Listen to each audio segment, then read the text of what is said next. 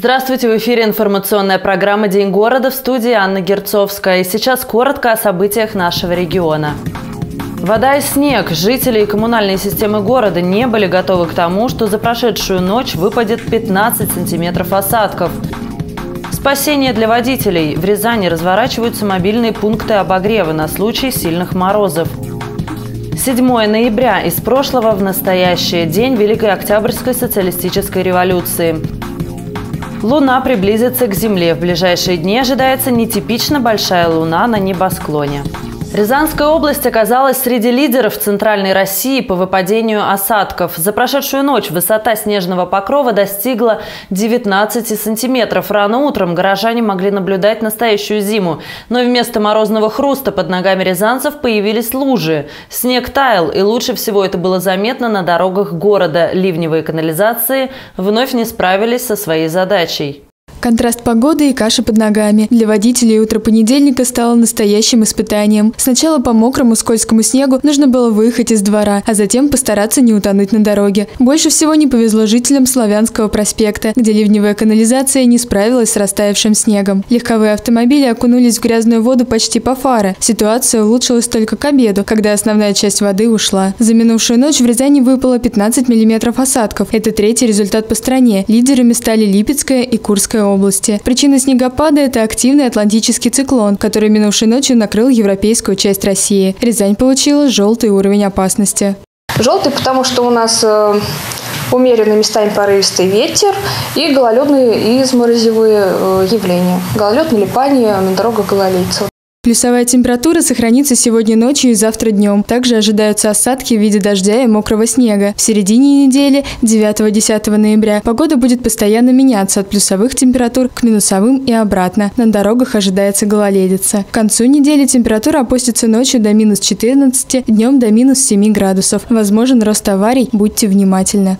В связи с вероятностью неблагоприятных погодных условий сотрудники МЧС России развернули более 40 мобильных пунктов обогрева вдоль дорог федерального и регионального значения в Центральном федеральном округе, в том числе и в Рязанской области. Они находятся на тех участках трасс, рядом с которыми нет кафе, заправок и другой инфраструктуры. Мобильные пункты обогрева создают для того, чтобы водители в случае происшествия или прочей необходимости могли получить помощь.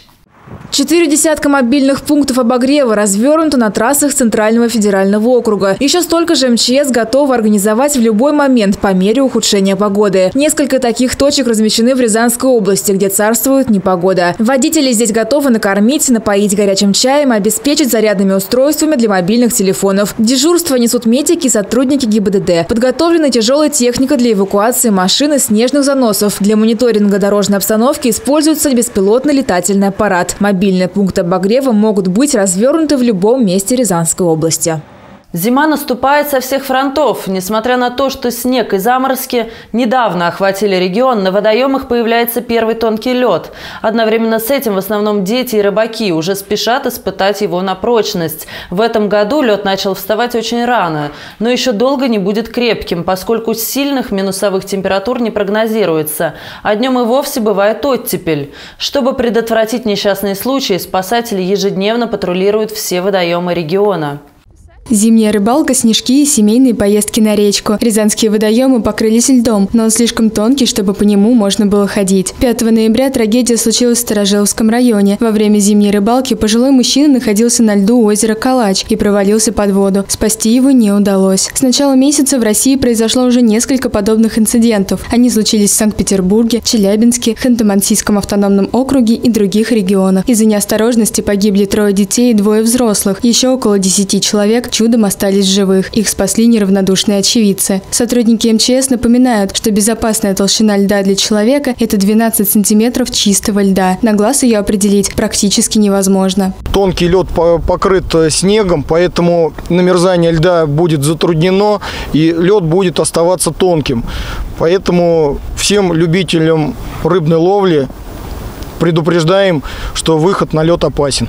Безопаснее всего будет подождать стойких морозов, когда водоем наверняка замерзнет. Для проверки толщины льда возьмите палку и ударьте ей по покрову. Если удалось пробить с первого раза, то он точно не выдержит вес человека. Также старайтесь путешествовать в компании, а при выходе на лед возьмите с собой 10-метровую веревку. Если вы провалитесь, с ее помощью вас смогут вытащить для спасения вашего там товарища, либо просто ну, незнакомого вам человека подойдут любые подручные средства. Это и шарф, и ну, даже штаны могут пригодиться в этом случае. Температура воды подо льдом составляет плюс 4 градуса. Человек может находиться в ней около 5-7 минут. Этого времени не хватит, чтобы к вам успели приехать сотрудники МЧС. Заранее позаботьтесь о собственной безопасности и не рискуйте напрасно, ведь цена может оказаться слишком дорогой. Рязанские пенсионеры не перестают попадать под влияние мошенников, которые совершают преступные действия с помощью услуг мобильной связи. Сколько бы ни было сделано в средствах массовой информации предупреждений, они словно не проникают в сознание граждан. Люди остаются очень доверчивыми. А может быть и сами мошенники становятся более продвинутыми. Обо всем подробнее знает Марина Комиссарова. У меня закончились деньги, пополни мой счет, подпись Маша. Или же ваш сын попал в аварию, пришлите срочные деньги на этот номер. Впечатлительные люди старшего возраста частенько бросаются выполнять просьбу неизвестных и попадают в финансовую ловушку. Благо, если обманутся на небольшую сумму. Основными, основными видами мошенничества это в настоящее время являются такие, как звонок на мобильный телефон, ваш сын попал в аварию, да, ваш сын попал с наркотиками в полицию в настоящее время, решается вопрос о задержании его места лишения свободы. Ну, однако поступают э, в ходе разговора такие предложения, что можно решить вопрос мирно, да, нужно созвониться со следователем, или он вам сейчас перезвонит и выполнить свои условия. На сегодняшний день телефонных обманок расплодилось великое множество. Правда, в основе, как правило, лежит несколько стандартных и довольно простых схем. Причем есть явно незаконные способы вытянуть из людей деньги, а есть те, к которым даже прокуратура подкопаться не сможет. Выявить киберпреступников зачастую бывает крайне сложно. Текущий период э, нам удалось достичь как бы, положительных результатов. Восемь фактов мошенничества мы задокументировали. Были проведены оперативно-розыскные мероприятия, которые дали свои результаты. В настоящее время вина данных лиц доказана. Лица признали свою вину. И в настоящее время данные дела с обвинительным заключением направлены в суд для дальнейшего рассмотрения. Пользуясь доверчивостью и впечатлительностью людей старшего возраста, мошенники заполоняют разные сферы жизнедеятельности. Еще одним популярным видом обмана стала продажа дорогостоящей косметики, за которую люди готовы выкладывать бешеные деньги. Участились количество обращений по поводу приобретение в кредит э, косметических средств и услуг, а также одеялов, одеял и пледов. Э, соответственно, беда заключается в том, что люди в момент заключения такого договора кредитного не отдают себе отчет и находятся в состоянии неосознанности. Можно составить психологический портрет таких людей. Это женщины средних лет, незамужние, где находят такие данные представители этих организаций, мы тоже не можем знать. Но, как правило, это назойливые звонки.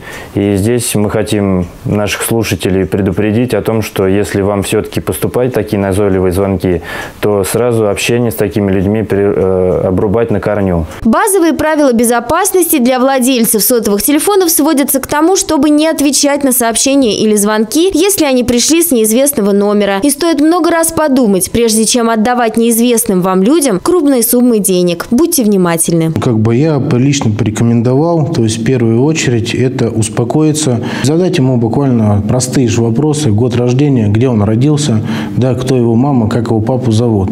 То есть, как правило, мошенники начинают избегать данных ситуаций, заводить какие-то другие определенные вопросы, избегать этих ответов. Тут нужно сразу предполагать, что это работают мошенники, и никакого факта об этом не случилось.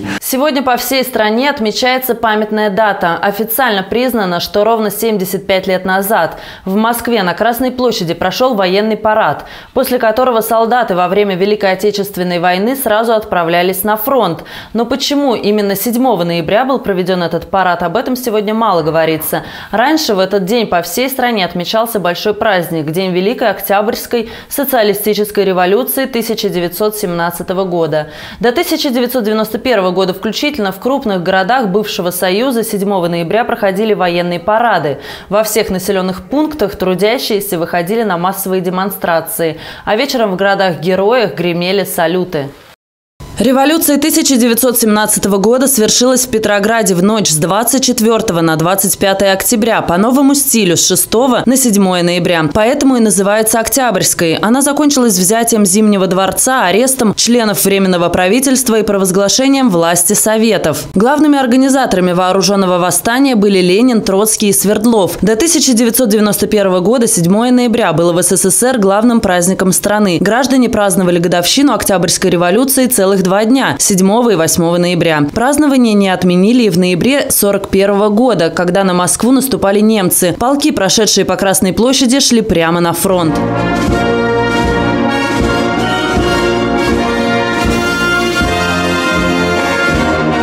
Свою очередь Гитлер желал провести парад своих войск именно 7 ноября 1941 года в Москве. Он заявил на весь мир, что в этот день на Красной площади проведет смотр своих непобедимых войск. Но СССР превзошел его ожидания. Заблаговременно советские власти укрепили оборону Москвы как с земли, так и с воздуха. И все же организовали парад наших войск, приуроченный к 24-й годовщине Октябрьской революции. Он проходил в условиях, когда советские части вели тяжелые бои с немецко-фашистскими захватчиками, находившимися в 75-100 километрах от столицы и стал для всей страны неожиданным, потрясающе радостным событием.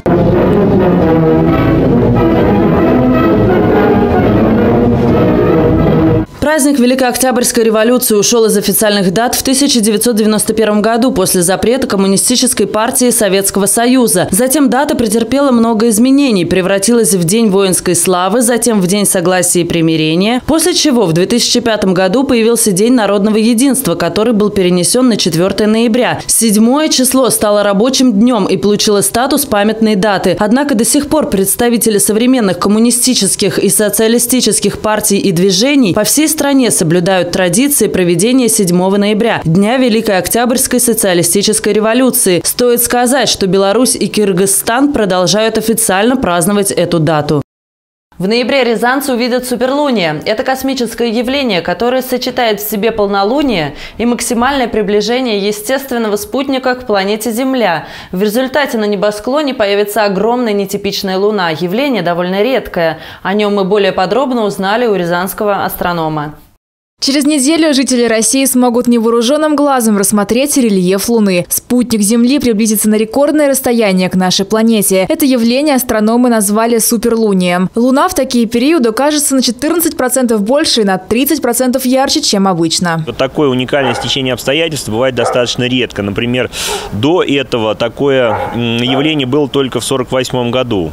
А следующее такое стечение обстоятельств мы будем э, ожидать только в 2030 2034. Ученые предупреждают, что спутник будет похож на гигантский пылающий шар, но пугаться не стоит. Как отмечают специалисты, природных катаклизмов и ухудшения здоровья суперлуния не вызывает. Сам момент э, именно максимума э, этого явления, он произойдет немножко до восхода Луны. Э, его лучше будут наблюдать жители Америки, то есть другого полушария. Но, тем не менее, когда Луна взойдет у нас, она тоже будет впечатляющей. Кроме того, того, 11 и 16 ноября можно будет увидеть звездные дожди. Астрономы отмечают, что этот ноябрь богат на удивительное явление в космосе. На данный момент это все. Следите за новостями на нашем сайте город62.тв. Я с вами прощаюсь. Желаю вам отличного настроения и крепкого здоровья в эту осеннюю погоду. До свидания.